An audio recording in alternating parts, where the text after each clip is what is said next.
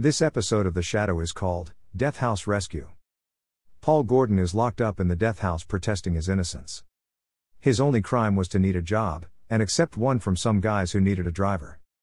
It turns out they needed him as a getaway driver from a bank robbery, and when a policeman gets killed, Gordon finds himself in deep trouble.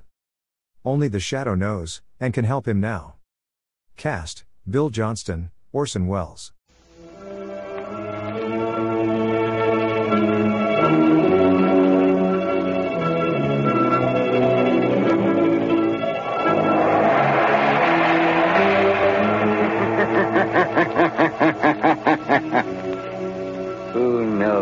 What evil lurks in the hearts of men? the shadow knows. Blue Coal presents The Shadow, a man of mystery who strikes terror in the very souls of sharpsters, lawbreakers, and criminals.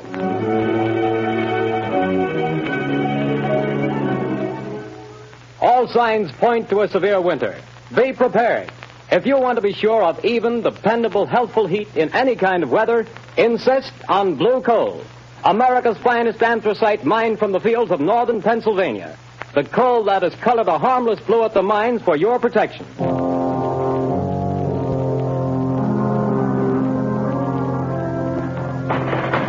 You can't have me to the jail. You can't do it. Let me out of here. Let me. Paul Gordon, listen. I can't see anybody. Who's that? I am the shadow. Stop. We haven't much time. We must hurry, Gordon. You're in the death house, charged with murder. Yes, I'm innocent. I'm innocent. But nobody knows it. Take courage, Gordon. The shadow knows.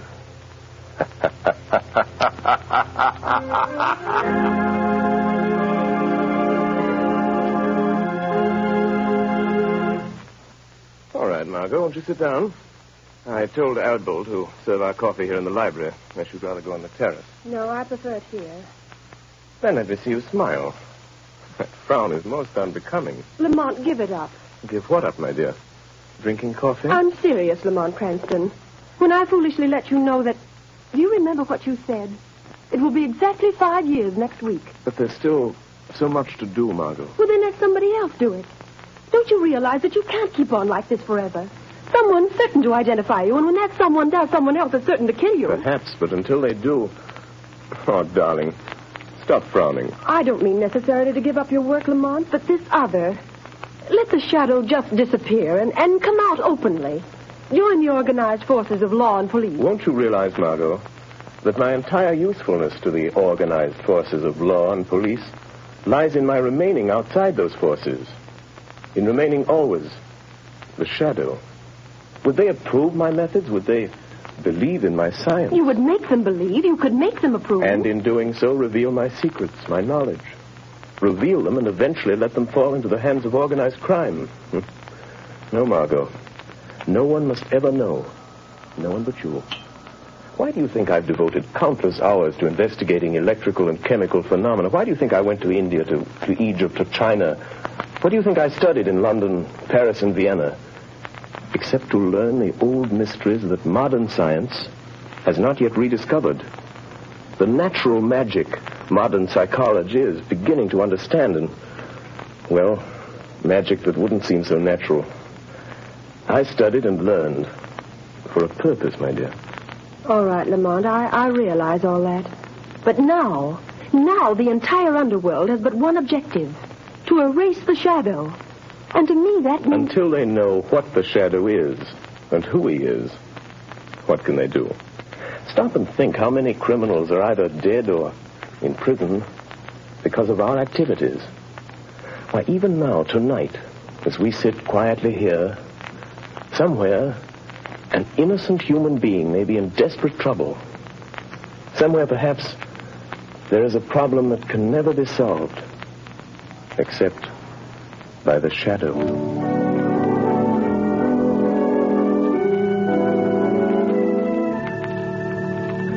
What did the doctor say, Grace?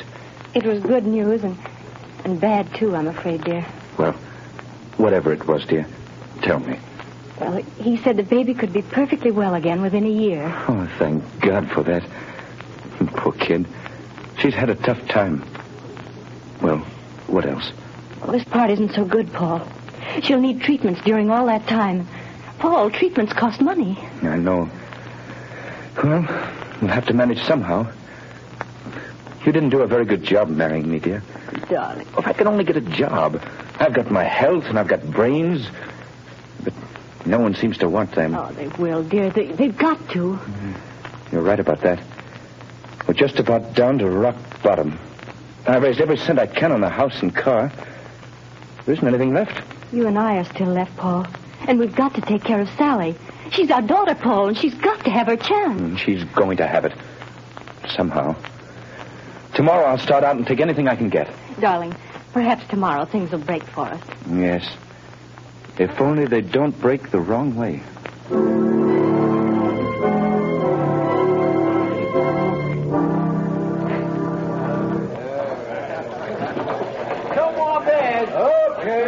Over here. Take these two How over, about some Bill. Excuse me, but are you the boss here? That's right. I'm looking for a job. Nothing doing, buddy. I'll do anything. Wait on table, wash dishes, anything at all. I don't need any more help. Well, how about delivering things? I've got a car. Nope, I don't deliver nothing. Sorry, don't need you. I see.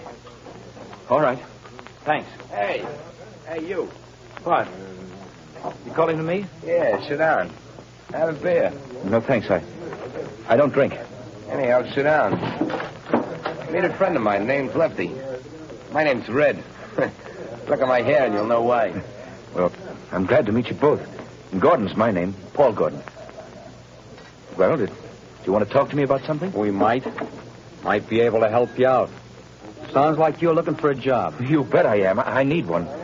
You know anybody that could use me? Maybe. We don't know you yet. So far as that goes, I don't know you either. See, Red, the guy's smart. Yeah, maybe too smart. Now, look here, Mr. Gordon. We need a car, and we need somebody to drive it for us. You understand? Well, I've got a car and I can drive. Is it a good car? Has it got speed? I'll guarantee you up to 80. That's not bad. It's not bad. Now, listen, kid. How about meeting us tomorrow morning at 9 o'clock? All right. Where? Well, let's see. Uh, we're going to. Um... I got it. Right in front of the Uptown Bank. We got to go there first to cash a check. Well, how about $5 a day? That's so. But you remember, be there at 9 o'clock, or you don't get no job. don't worry, I'll be there. I'll be there at 8 o'clock.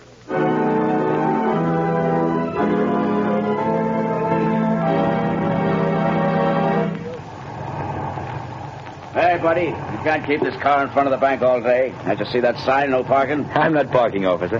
I'm waiting for a couple of men. I'm working for them. Oh. Hey, what's that? Sounds like shots in the bank. Hey, stop there, you. Got him, Lefty. Here he is with the car. Come on, you start that bus for. Step on it, fella. Hey, brother, you can't do that. Go on, I will shoot. Let him have it, Red. Hold him off. I'll hold him. Wish I'd never have shot that cop. Can't you get no more speed out of this car, fella? She's doing all she can. Shoot at their tires, Red. I missed him. Try the windshield. Say, let me out of this. Take the car. You don't think I'm in with you? That's just what we're figuring on. Now, here comes a curve. After you make that stop, get ready, Red. I'm ready. I'm just leaving the evidence. Put it under the seat cushion. Right. Okay, goodbye, Gordon. Thanks for the... Hey, hey, wait, you guys. Don't leave me like this. They'll think I did it. Hey, come on back, will you? Look out! Up with your hands. Come on, get him up. All right, officer. I, I haven't got a gun. I wasn't in this. They made me drive the car. Yeah, keep your hands up just the same. Go throw the car, Charlie. Okay, Sarge. Now, fella, you might as well come clean on this. I haven't done anything. I tell you, I'm innocent. Hey, Sarge, I got it. Under the rear seat cushion. A bag full of bills and a gun. That's the gun that bumped off my buddy Louis. And you say you're innocent. Yes, I am. Well, it'll take more than saying so to keep you out of the electric chair.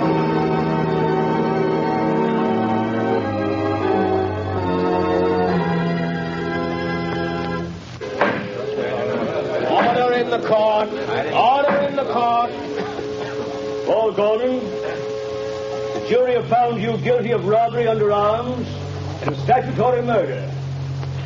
You have been shown you have had both motive and opportunity. The prosecution has piled up a mass of incontrovertible evidence, and I myself have no doubt of your guilt.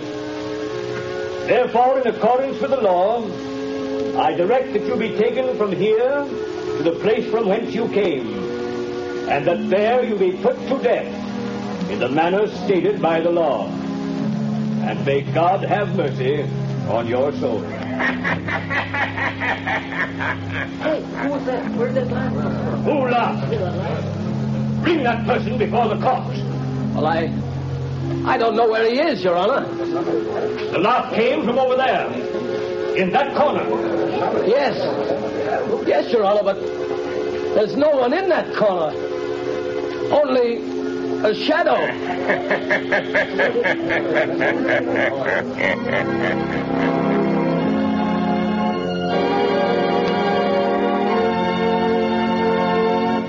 Go to sleep, dear. Mother'll be right here in the next room. Oh, God. Please help me. Help me. I don't know what to do. Yes? Who is it? My name is Margot Lane.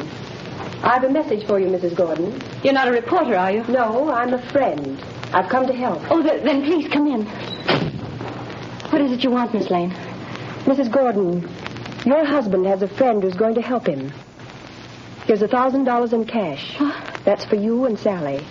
A thousand? Who was it sent this to me? For that I can't tell you. But the message with it is not to lose hope. Oh, then there is hope for Paul, then. The man who sent this to you never fails. Oh, who is he? Well, that I can't tell you. But, Miss Lane, you know him. Sometimes I wonder whether I do. I love him. But I wonder whether I know him. What do you mean? It's hard to tell whether I really know the man or only his shadow.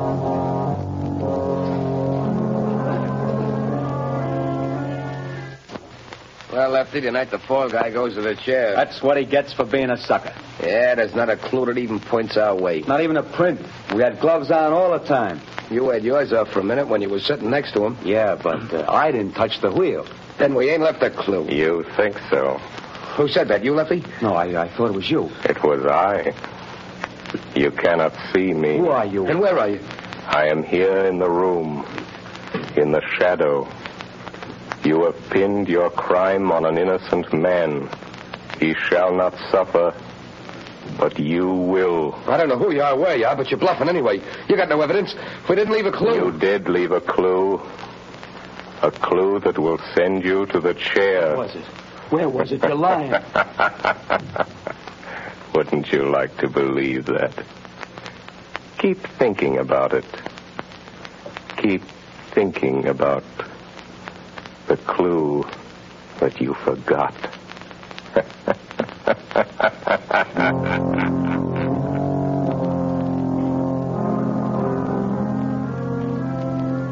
Margot Lane.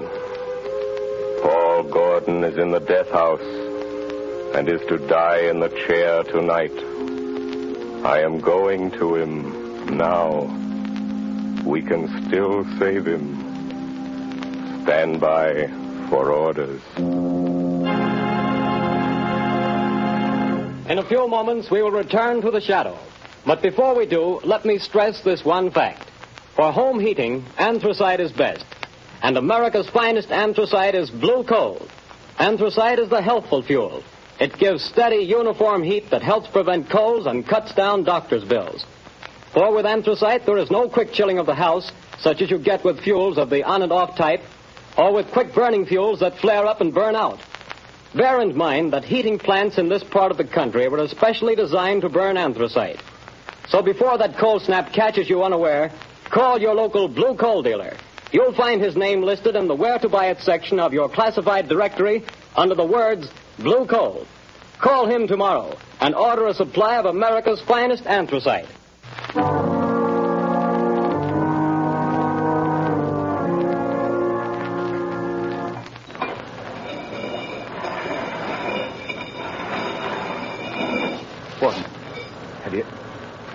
Got any word from the governor?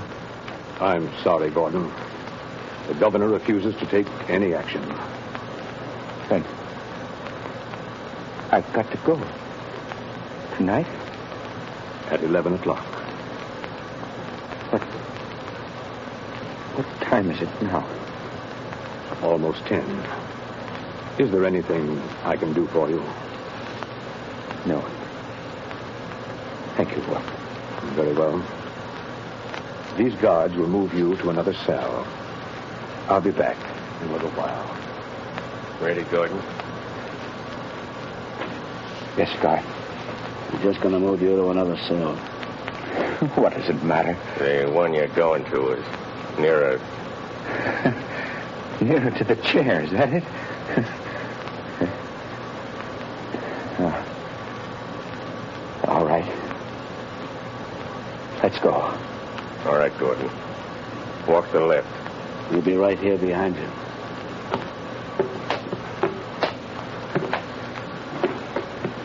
Unlock the door into the preparation chamber, Pete. Okay, just a second. All right. Go on through, Gordon. Watch him, Pete. I'll shut the door. What's the use of all this trouble? What chance have I got now? I'm afraid you haven't got much, fella. Oh, I wouldn't say that. What do you mean? Holy smokes. Look behind you. Where? There. Oh, too bad. I hated to do that, but there wasn't any other way, and he'll only be out for a while. Now, Gordon, listen to me. Hey, where are you? I can't see you anymore. Where have you gone? Back into the shadow. Now, Gordon, we haven't much time. Listen to me. No crime is perfect. There's always somewhere a loose end.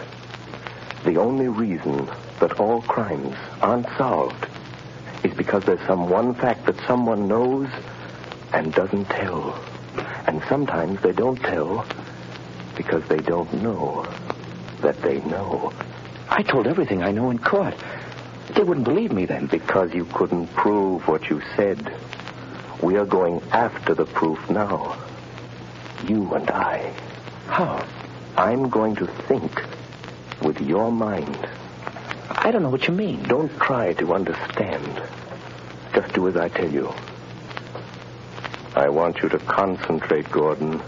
Fix your mind on everything that happened that day. Make mental pictures. I'll see what you see. I'll try. No. No. No, Gordon. Stop thinking about your wife and baby. How did you know I was thinking about I them? saw it in your mind. I see in my mind the pictures you create in yours. Oh. Like television? Yes. Or like mental telepathy or mind reading, hypnotism, whatever you choose. There's no time to talk. Stop talking. Think. I will. I will. I'm thinking now. The picture is getting clearer. That's better. Go on. The restaurant? The bar? Gordon, stop thinking about the electric chair. It blurs the picture. I'll try. I'll try. Ah. That's better. The car. Front of the bank. Yes. I see it. The policeman. The crowd. Yes. Wait a minute. The small man with red hair. He was the one you called Red. Yes. Yes. I see him. Crooked nose, short, glasses. I know that man. He's Red Sloan. I, I, it's hard to see. I know. Think for your life. Try hard. Yes, you started the car. The other, Lefty, was in front with you. Lefty. Lefty. See him for me, Gordon. Ah, yes. A scar on his left cheek. Why didn't you mention that in court? I, I forgot. Never mind. Concentrate. Yes. Yes. Lefty couldn't keep you covered with a gun and look back at the same time. What did he do? He reached up and twisted the rear view mirror. Now we've got it. Ah, That's the loose end. That's where his thumbprint will be. Gordon, now I can save you. You've told the truth. You didn't know you knew. Come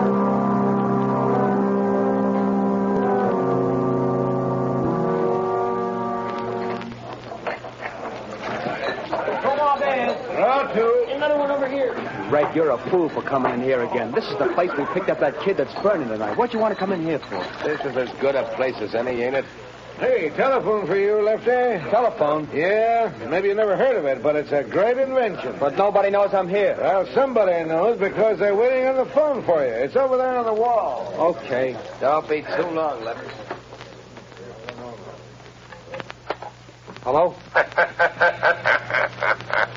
Say, what are you laughing at? Who is this? Lefty, did you ever hear of the shadow? Yeah. Say, what is this? Too bad about young Gordon, isn't it, Lefty? What do you know about that? The shadow knows. Who are you? What do you want? I want justice. Justice for Paul Gordon, Lefty. And I'm going to get it. But you ain't got no evidence. No. Perhaps there are some fingerprints, Lefty.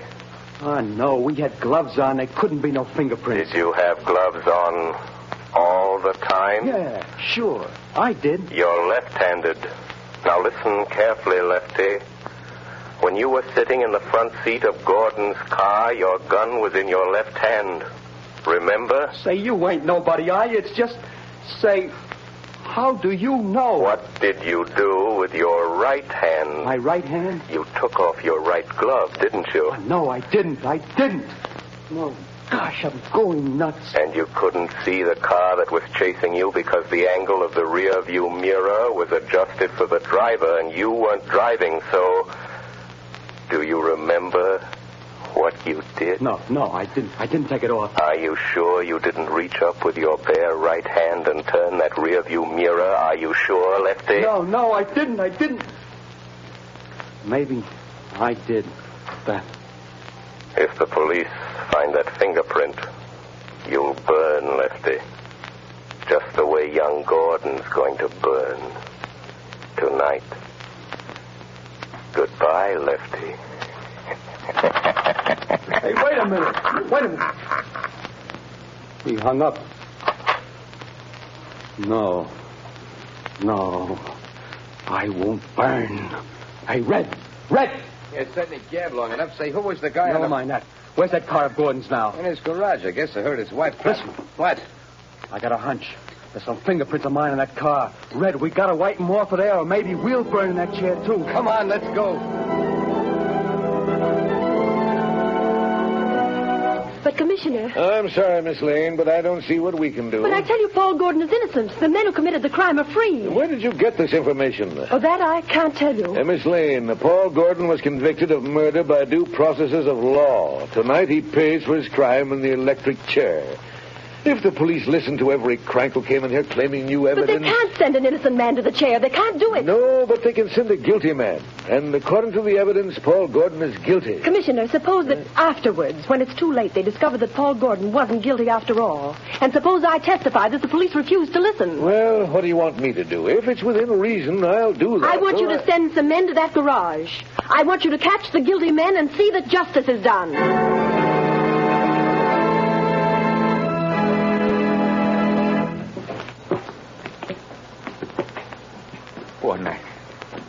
I'm frightened.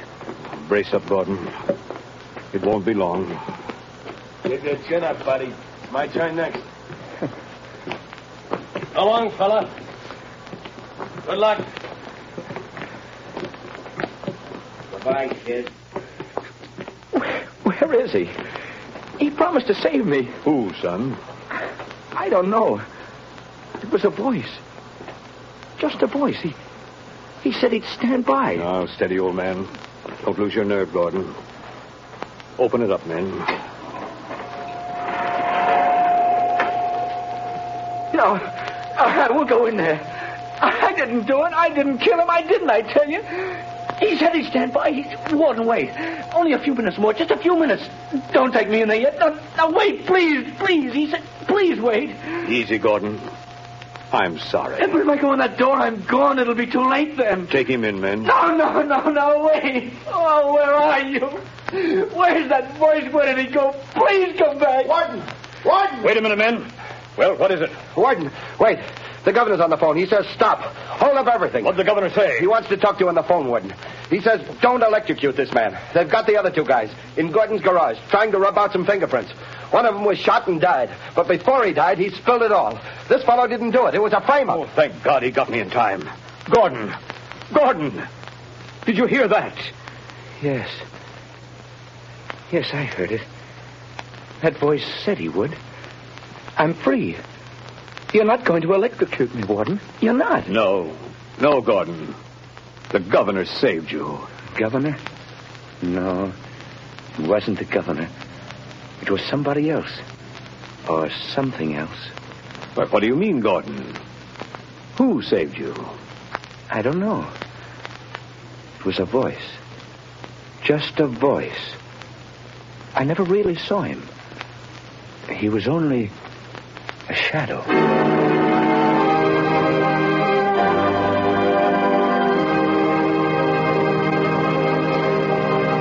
Before another adventure with the Shadow draws to a close, John Barclay, Blue Coal's heating expert, would like to say a few words. Mr. Barclay. Good evening, friends. If you're interested in having a more comfortable home this winter, be sure to call your local Blue Coal dealer. For he's more than a fuel dealer, he's an authority on modern home heating. You see, for more than six years, I've trained servicemen for these Blue Coal dealers. These men, known as John Barclay servicemen, have added thousands of families like yours to enjoy a greater degree of comfort and to save heating dollars, too. I'm going to read part of a letter typical of many received from satisfied customers using Blue Coal and John Barclay service. I quote in part.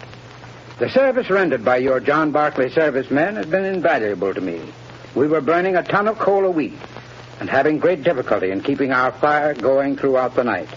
Your serviceman made me many helpful suggestions regarding the proper way to regulate the furnace and recommended the use of blue coal. We not only reduced the amount of fuel consumed to one half, but actually got more heat. Think of that, friends. In this case, a family cut their fuel bill in half simply by following the advice of a John Barclay serviceman, whose services were given without charge. Now, you don't have to buy blue coal to benefit from John Barclay service. No matter what kind of fuel you're using or from whom you've been buying, if you have any heating problems, consult the blue coal dealer.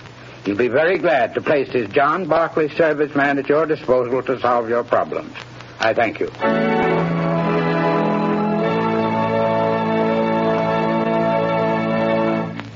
The story you have just heard is copyrighted by the Shadow magazine.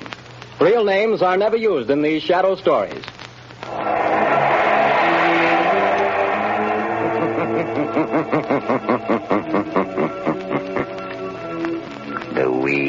Crime bears bitter fruit.